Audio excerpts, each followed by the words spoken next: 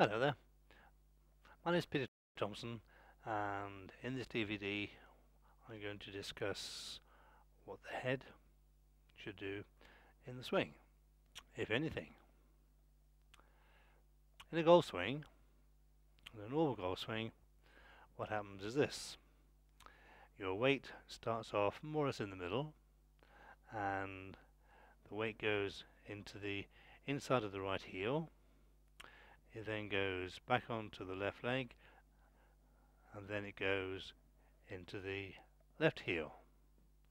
For this to happen, your head cannot stay in the same place. It's physically impossible. Watch my head. Weight inside my right heel.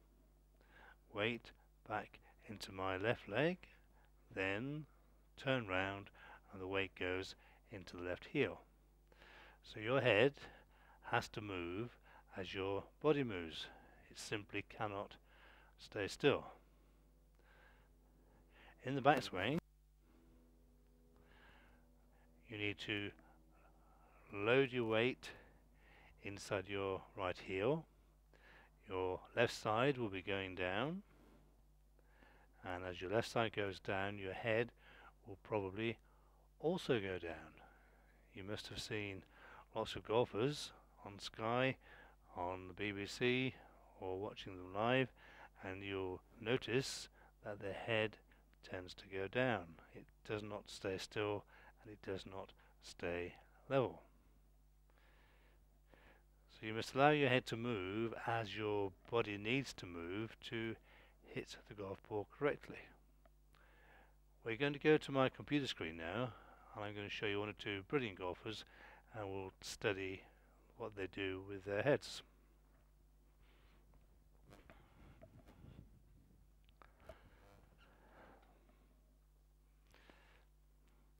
So we'll start off with a former world number one. You may get back there again. Who knows?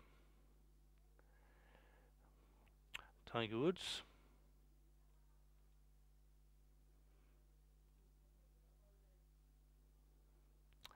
And Tiger Woods, as everyone knows, has been a brilliant golfer for a long, long time. So I'm going to draw a little circle around his head. And then we're going to watch what happens to his head in the swing. This particular shot was on a hole almost 400 yards long, dog leg right to left, and he was trying to hit the ball over the top of the trees, cutting the corner, which he did, and almost got the ball onto the green. So what's the head? The picture's not all that clear I'm afraid but uh, I think you will get the idea. In the backswing his weight is now inside his right heel so his head has moved to the right and it's also turned to the right as well. His head is now pointing way outside his right leg.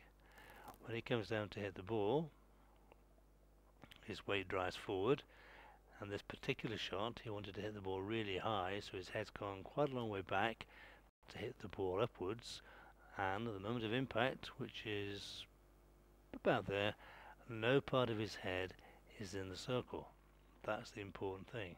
No part of his head is in the circle. A golf swing isn't a circle therefore hasn't got a center his head's moved completely out of the circle. At the end of the swing He's there. Not very well balanced, but a fantastic goal shot. So head to the right, head down, head a long way back to hit the ball upwards. To hit the ball lower, he would have probably moved his head forward slightly, but the shot was going to go right over the top of the trees, which it did, and his head was not in the same place twice.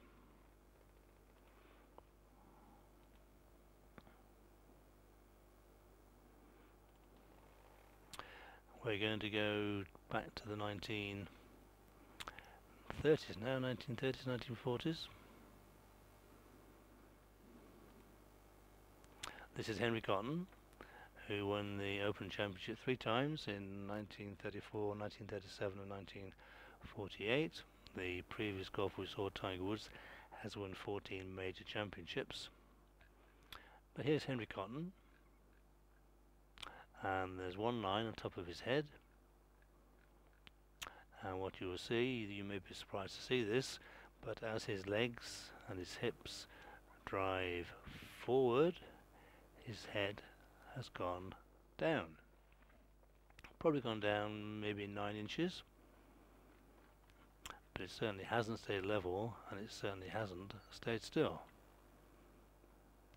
Very, very fluid golf swing. My father was a golf professional and Henry Cotton was my father, father's favourite golfer. And there's the head going down. Now back up again.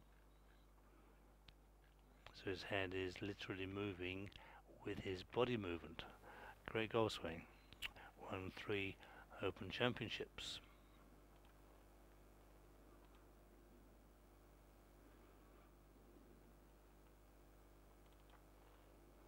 This is Ben Hogan, who won nine major championships and we're going to watch his swing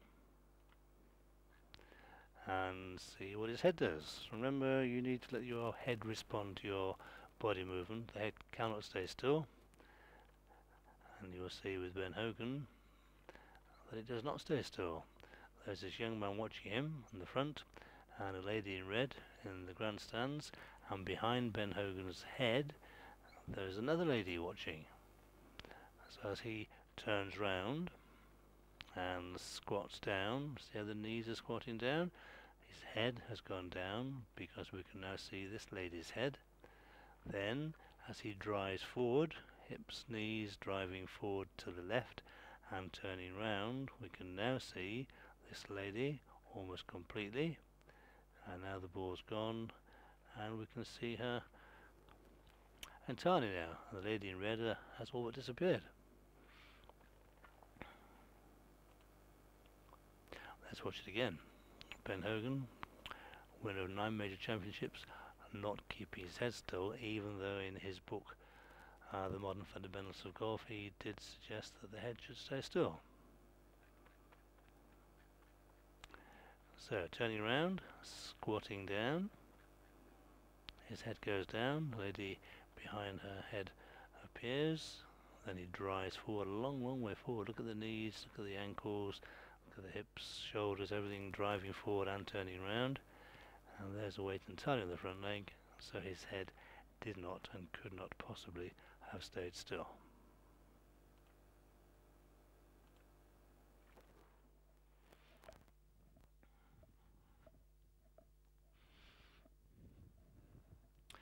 So there's three brilliant golfers allowing the head to respond to the body movement.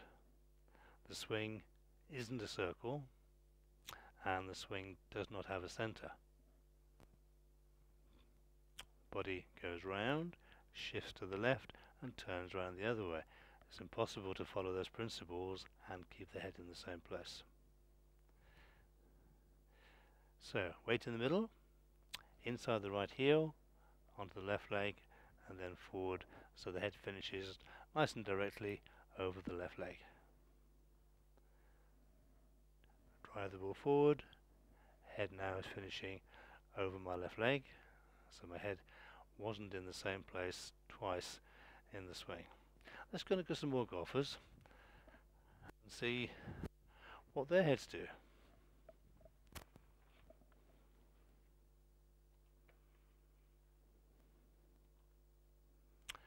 Darren Clarke. Everyone likes watching Darren Clarke. I certainly do. Great character, great golfer, won the Open in 2011. I was delighted when he won that. Let's watch his head. This is the Masters in 2004. I went to uh, watch the Masters because one of my pupils, Gary Wolstenholme, had won the 2003 Amateur Championship, so he gave me two tickets for five days, so off I went, and it was absolutely wonderful. I took my camera, and this is one of the swings that I took whilst I was there. So Darren Clarke's squatting down beautifully, so his head has gone down, is move his weight into his right heel, so his head has now moved away from this vertical line. Then when he comes down to strike the ball, he drives forward and turns round, so his head is still down maybe 6 inches from where he started, and his head has moved about 6 inches away from this vertical line as the weight goes into the left heel. Great swing. He's looking at the golf ball, watching the ball, but he's not keeping his head still. Let's watch it again. So, weight moving via the hip turn inside the right heel.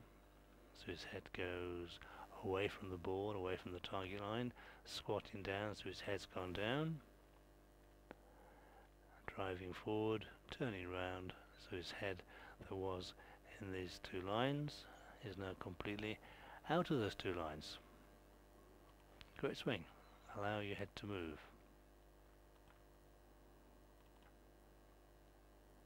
This is one of my pupils. His name is Mark, Mark Wiggett. And in a pro competition he went round Sherborne Golf Course in in the United Kingdom in 60 shots gross. Par was 72, 12 under par. I believe the next best score was 68. So Mark's a phenomenally good golfer He's had gross scores of 60 and 61s and 62s. I've talked to him for many years. Watch his head. So head to the right as the left side moves into the right side. His head's gone down as he squats into his right heel. Then he can drive forward and that impact position is magnificent.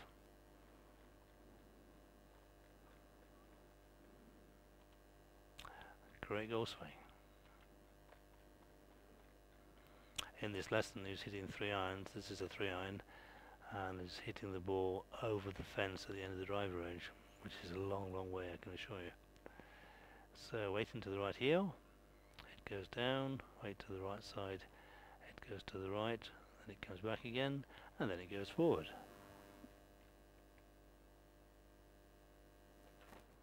Good swing.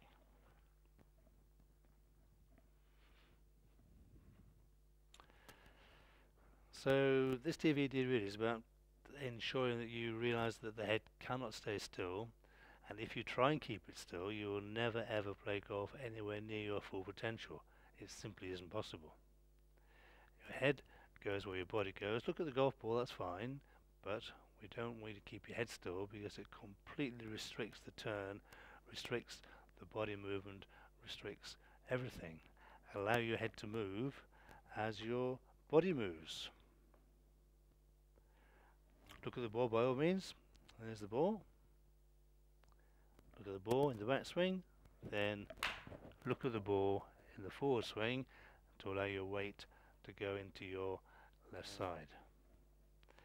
So please, please, please, please do not try and keep your head still. Look at the ball, let your body turn, move your head wherever it needs to go. Thank you for listening. Thank you very much.